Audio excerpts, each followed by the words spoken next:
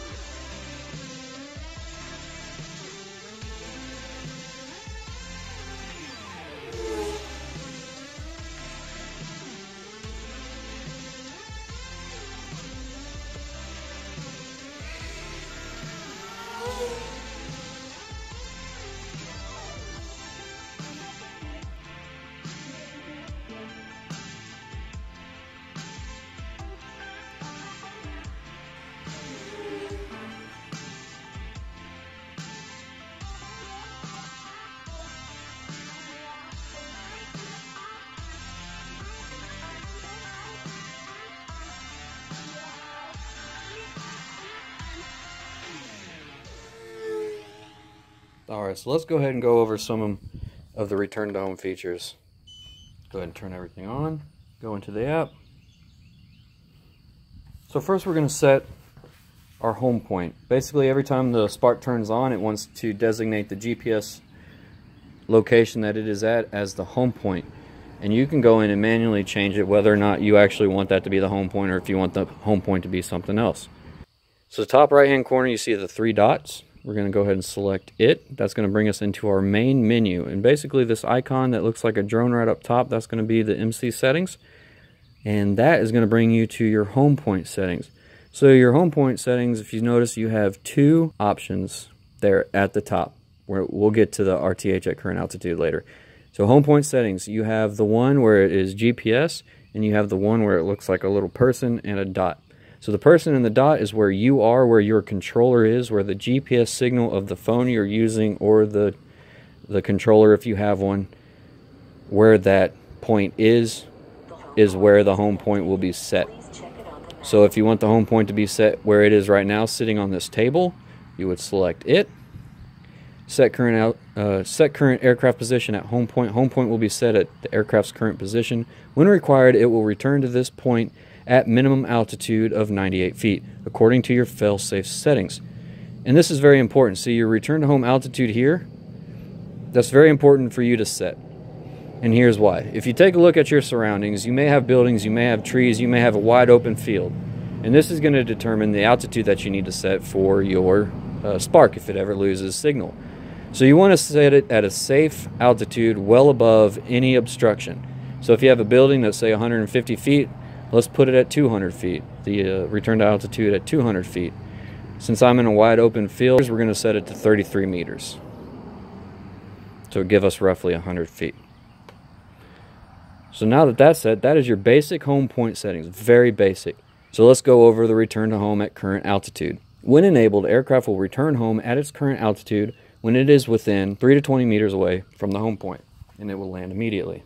So that's basically an option if you're a beginner and you're new to it and you get concerned with what your aircraft is doing and you slap that return to home point, it's going to stop immediately. And if it's within that 3 to 20 meters, then it's going to return at the altitude that it is at that point and it's going to land.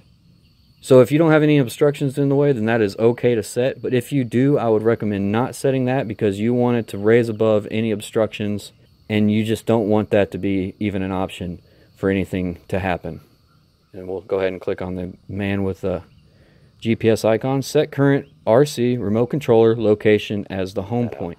Home point will be set to your current position. The distance between your position and the home point is 20 feet. Please confirm this setting. Okay. So that's basically putting it where this controller is on this table right now. That's where the home point will be. So let's go ahead and position the spark where I actually want it to be, and we'll get back to it.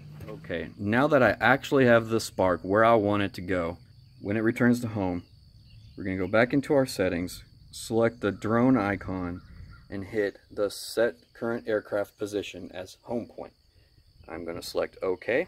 The home point has been updated. Please check it on the map. Another thing to note is that the Spark usually sets the home point as soon as you take off to where its location is. Take off.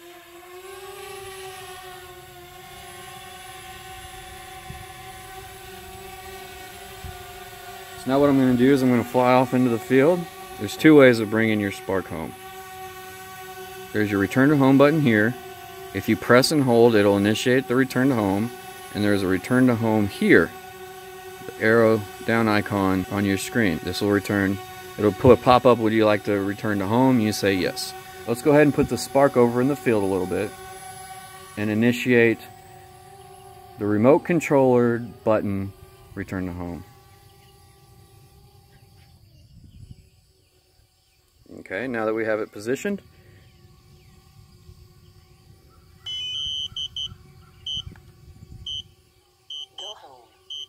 that sound right there is the return to home.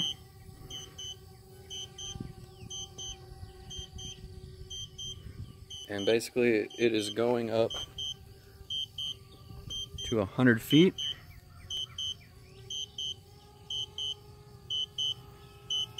And it's coming back home.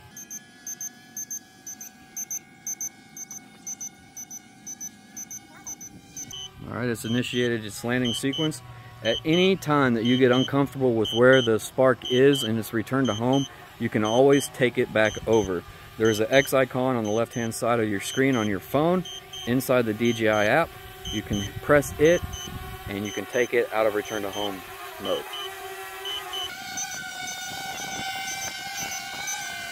Like right now.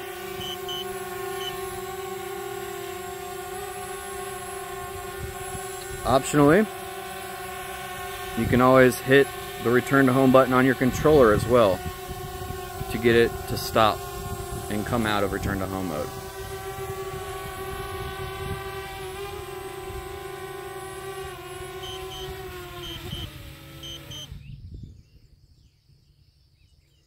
Okay.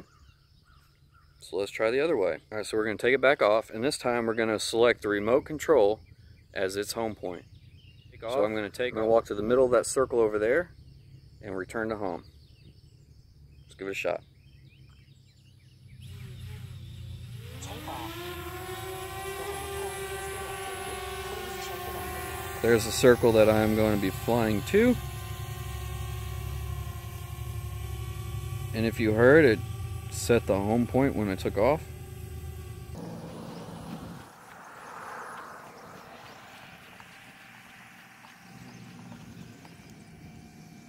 Right, we are now at the circle. I'm going to go stand in the middle of it.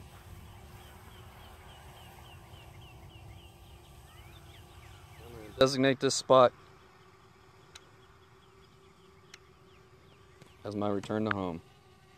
So let's go ahead in the settings, MC settings, set current RC location as home point, select OK. The home point has been updated. Please check it on the map. Home point is updated.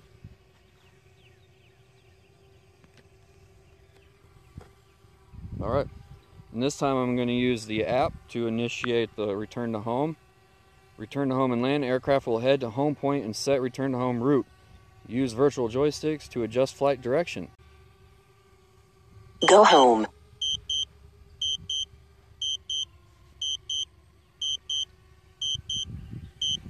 Let's see how it does.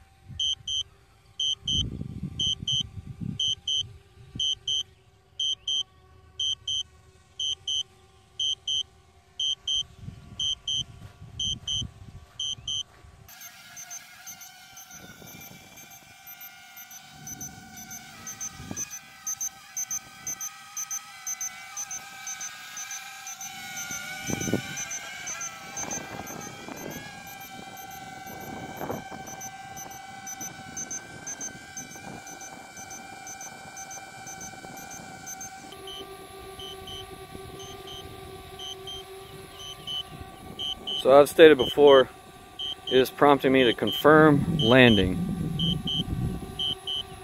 I don't know why it does that in most Android devices it does that to me, in Apple it does not. So we'll go ahead and confirm that. All right. So, not the most accurate thing. And if you notice, when I set the controller home point, I walked away and it still landed at the circle. So it does not follow your controller. It just sets the home point where your controller is at that point in time. So you can set it, forget that you set it there, and walk somewhere else. Or if you're paddling down a river or something like that, and it returns to home, it could go somewhere else. So you gotta be mindful that it does not set. It'll set it to that point at that location at the time you set it. And you can walk away and it'll still go back to that point. So let's do a simulated test of what if the worst happened. What if your controller were to turn off in flight? So I'm gonna set the altitude a lot lower to 10 meters because I don't need it going high. I'm gonna set it at current location. Set the return to home to current location. I'm gonna fly over. All right, not very far away. Now, there's the power. What happens if your controller dies in mid-flight? As the phone has no signal, aircraft is disconnected. What does it do?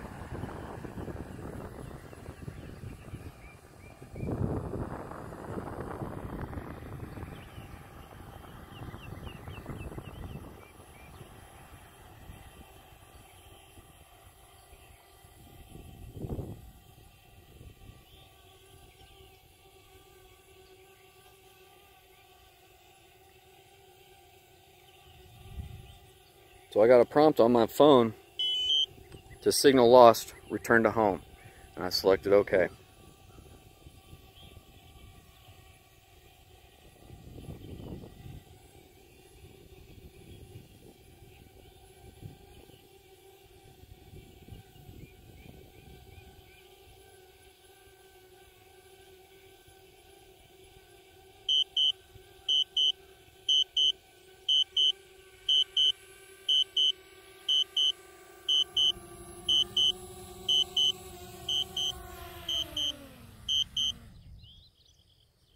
So that was me flying it back home.